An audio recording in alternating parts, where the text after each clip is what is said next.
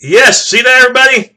Yeah, that's Oklahoma's latest ranking according to the college football playoff poll. And yeah, I was shocked. I don't know how, how you feel, but it, it surprised me as well. I mean, not that I'm complaining because um, that ranking shows that not only are the Sooners a playoff team, but they've got a little bit of a cushion to work with. Two reasons I think for this uh, high ranking. Of course, you got Clemson one, Alabama two, and there's the Sooners, and then you have Iowa at four and Michigan State at five. Notre Dame, who I'll talk about in a second, dropping down to number six. Two reasons why I think for this high ranking. Number one, Baylor beating Oklahoma State on the road. That kept Baylor in the top 10 in the uh, playoff rankings. In fact, Baylor is at number seven. And if the Baylor Bears went out, meaning that they beat TCU the day before the Bedlam game and went on December the 5th at home against Texas, that gives Baylor an 11 1 record. And that is a high quality win in terms of, of what the Sooners really need as far as padding that resume. That right there will send a loud message. And I know the top, the loss to Texas is a factor. Okay, Notre Dame beating that same Texas team by five touchdowns. I'm not saying that doesn't matter, but quality wins right now seem to be the big thing. And I think another thing too is the eye test. OU was up 23 to seven at halftime against TCU, and of course the unfortunate Baker Mayfield injury, you know, kept him out of the second half. I think the committee thought that OU was in command of this game, up 16 points, and that if Mayfield had played, I think the committee believes that the game would not have come down to a one point decision. So I think that they took that into account as well. Now, talking about Notre Dame, I think they took into account that the Irish committed five turnovers against a Boston College team that, unlike TCU, was not ranked in the top 20 and was not 9 and 1. In fact, Boston College really isn't good. And yet it was just a three point game. In fact, the last two weeks, you know, Notre Dame has not looked like um, a, a team that is playing the brand of football they're capable of playing. And the overall resume right now, Notre Dame's two best wins are against uh, Navy and Temple. Both good teams, both 10 and 1, but neither play in a major conference. And I think that hurts too. Does being an independent hurt Notre Dame?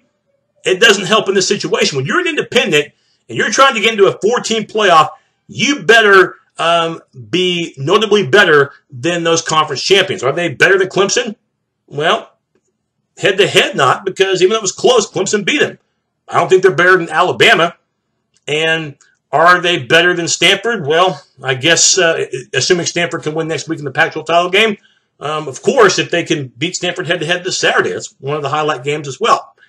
And um, the Big Ten champion, can Notre Dame pass them? If Iowa and Michigan State win this week, I don't think so because both will remain highly ranked entering their Big Ten title game. Iowa, if they win, will go 13 0. Michigan State, if they win, yeah, they'll go 12 and 1, but they will have a conference title, unlike Notre Dame, and they'll have more quality wins too. So Notre Dame screwed there. Um, their only hope would be to pass the Big 12 champion. Um, is there still that possibility? Well, I think they can make up ground if they win at Stanford. Let's say that they win by 14 or 17 points. Let's say they, they look real impressive. And if Oklahoma looks sluggish, and somehow finds a way to beat Oklahoma State. And I can't imagine the Sooners looking sluggish in Stillwater and still winning the game. If they look sluggish, I think the Sooners are going down. So for Notre Dame, uh, they're going to need some help. And um, it's going to take more uh, for them than just beating Stanford in order for that to happen. But remember, it's not this next poll that comes out that's the final one, which of course will be December the 1st, but the final poll will be the day after the conference title games uh, which will be on uh, December the 6th, that Sunday. week from Sunday, that's the poll that matters because that poll is set in stone. Well, although it's not set in stone that Baker Mayfield will play against Oklahoma State on Saturday, all indications right now are leaning that way, though, because right now he's listed as probable for the game on Saturday night. Of course, that head injury kept him out of the uh, second half. He did pass the uh, concussion protocol, however, did have a headache and, um, you know, basically the staff, the OU staff, did not want to take any chances. They kept him out of the game, although Mayfield's headache uh, did go away um, during that second half. But Stoops' Monday press conference said that uh, he'd be practicing. Matter of fact, Mayfield, I believe, took questions um, during the uh, Monday press conference. Um, practiced on Tuesday. Don't know how many reps he got. But I'm sure Trevor Knight, and for that matter, I've got to think Cody Thomas, the third stringer, took reps as well. And I imagine that they're taking it slow with uh, Mayfield. But right now, it would appear that Mayfield's going to play. And if you look at the Vegas line, that thing's gone from three and a half to uh, seven points. The bettors think that Mayfield's going to play because Mayfield being in the game makes all the difference. I cannot picture the Sooners winning this game if they don't have Mayfield as their quarterback. Okay, but right now it looks like he'll be good to go for Saturday without the Sooners actually officially saying that. And for the OU Sooners, um, for the second time in the past three weeks, they are the feature game for College Game Day. College Game Day from ESPN will be in Stillwater this weekend. And for the third straight time, the Sooners will be on ABC 7 p.m. prime time. So they'll get national exposure. By the way, the Notre Dame Stanford game will be played, I believe, 30 minutes prior uh, from Palo Alto. So obviously both games will be on simultaneously, and both games will have an impact on that uh, playoff picture. For the Sooners, a win, and they win the Big 12. And remember, it's just one true champion. The conference is finally living up to that name as uh, even if Baylor wins out, an OU win would give OU the Big 12 championship and they would not have to share it with anybody. There's no longer co-champions, even if at least two teams tie for the best conference record for first. Doesn't matter. So that gives the conference champion more of an identity in a stronger case to getting into the playoff. That's why the Big 12 no longer has conference champions of the co-variety. It's either one champion or one champion. In other words, one champion. Get it? Good. All right. So talking about the game itself, the Sooner defense has to be ready because Oklahoma State, uh, their offense is loaded. You know, Mason Rudolph having a terrific season. Um, a guy that's uh, averaging a little more than 300 yards per game through the air, 18 TDs, only seven picks. Biggest reason is because he's got receivers galore. Uh, James Washington is one of the more underrated receivers you'll find in the country. He's our leading receiver, but don't forget about David Glidden and Marcell Ateman. These receivers, um, you know, I, I imagine Oklahoma State will probably try to throw a variety of short passes and occasionally try to do what they did against TCU, which was successful, and try to burn the corners. So for Sanchez and for and for um, Jordan Thomas, a huge test because you're going against some skillful, speedy receivers that don't drop passes often. And I believe that um, that offense for Oklahoma State will test the corners big time.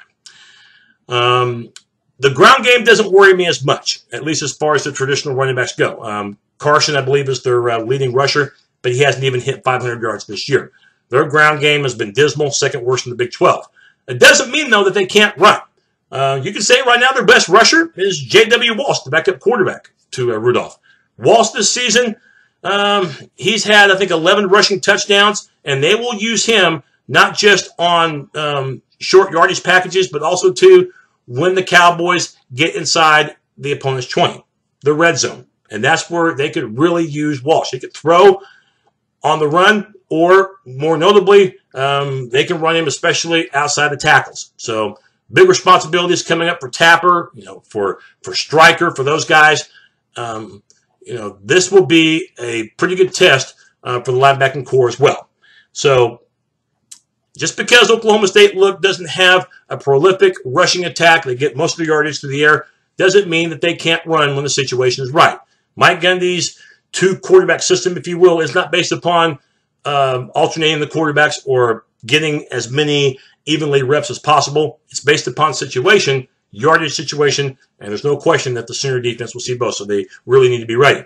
Oklahoma State's defense, it's not one that makes stops all the time, but they do get sacks, and believe me, they get takeaways. Not like the defense that they had four years ago, which was one of the record-setting defenses. I think that year they were well over 20 in terms of the takeaway category, and sometimes that defense from four years ago would score.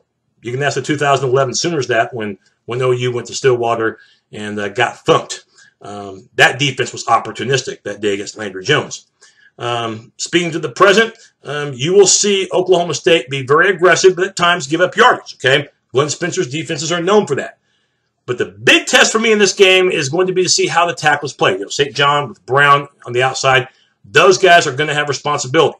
Major responsibility because of Emmanuel Ogbah, one of the more underrated uh, pass rushers in the country. I can't believe this guy isn't a major award semifinalist. I mean, that, that's a shock because he gets to the quarterback. So Sooners will have to be aware of that. But also inside pressure with Vincent Taylor. So, you know, for Alvarez, you know, for Darlington, for those guys um, in the interior, they have responsibility galore as well. And for Mayfield, distribution of the receivers. Um, last week, Shepard had one heck of a game, but he was the only receiver, and this includes running backs, that had more than just one catch. And in fact, I think Shepard had more catches than all the other uh, players who caught a, ba- a pass combined. That can't happen in this game because the Cowboys will do everything they can to limit Shepard. So, you know, for guys like Quick, obviously for uh, Dede Westbrook, um, you know, for the tight end Andrews, can't forget about him as well. And of course, the backfield as well um, with Ryan and with uh, Joe Mixon. Look for Mixon to play a big part in this game.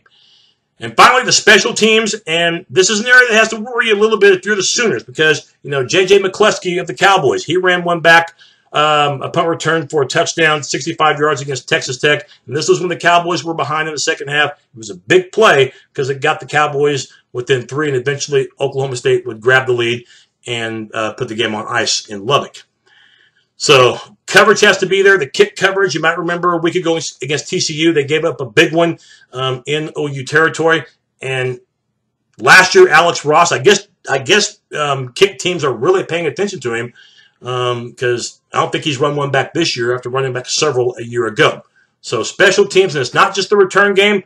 Austin Seibert, you know, it's true freshman. He could be called upon in this game. I don't know what the weather is going to be like, but I know it ain't going to be um, a clear, um, warm night. It's going to be cold, and there could be precipitation. Seibert um, missed a kick last week against TCU. Um, you might remember um, missed one against Kansas, um, missed one against Texas Tech, and uh, missed one against Iowa State. First half of the season, you know, he was he was reliable, but um, he's had some inconsistency. It could be called upon him. Um, you know, remember he punts and he plays kicks as well. So um, He's going to have um, a lot dependent upon him. Final thoughts on this game. Um, you know, for the Oklahoma Sooners, it's really this simple. You can't get consumed by that. And to tell you the truth, you really can't get caught in that bedlam hoopla as well. That's for us, the fans, the media. That's for us that don't play in the game or coach in the game. The Sooners have to worry about one thing. Play terrific football. Play terrific football have a good week of practice, which hopefully they're doing, execute, and protect the football and protect Mayfield. They can do that. Things will take care of themselves, and I believe the Sooners will win this game. I'm going to go 38-30 Oklahoma to win in Stillwater to go 11 and 1. And I ain't going to say that this solidifies a playoff spot just yet, but it's very, very favorable because, again, I don't know what this committee thinks. We don't really know what their agendas are. But a win in Stillwater, and it's going to be pretty difficult for the Sooners to lose um, their number three ranking at the worst. Um, they worst case scenario, they go down to number four if things play out the way they should. But the Sooners can't get caught up in the playoff because it hasn't happened yet, and they can't pack their bags or you know smoke the victory cigar just yet because of one thing, because of Bedlam. Oklahoma State a few years ago you might remember 2001. They were um, that was in Norman, by the way. Um, that year beat the Sooners and spoiled any chances of the Sooners repeating as national champions. And last year, even though it was not a title year for the Sooners, still they were expected to win, and they lost in overtime at home. This year, Oklahoma State's better. Oklahoma's better. There's so much more on the line, Big 12, and of course, national playoff implication wise. Hopefully, if you're a Sooner fan, you'll see the following happen. You'll see Baylor win on Friday. Hopefully, the Sooners, of course, win on Saturday, most importantly, and it wouldn't hurt if Stanford uh, beats Notre Dame. That right there could be the path toward the Sooners playing in that playoff on New Year's Eve, either the Cotton or the Orange Bowl. I got the Sooners winning 38 30. Uh, pick show should be coming up uh, soon, later this week. Me and the coin. And again, I got to get out of my slump as far as picking. I've been bad lately. Thanks for watching, and Boomer Sooner.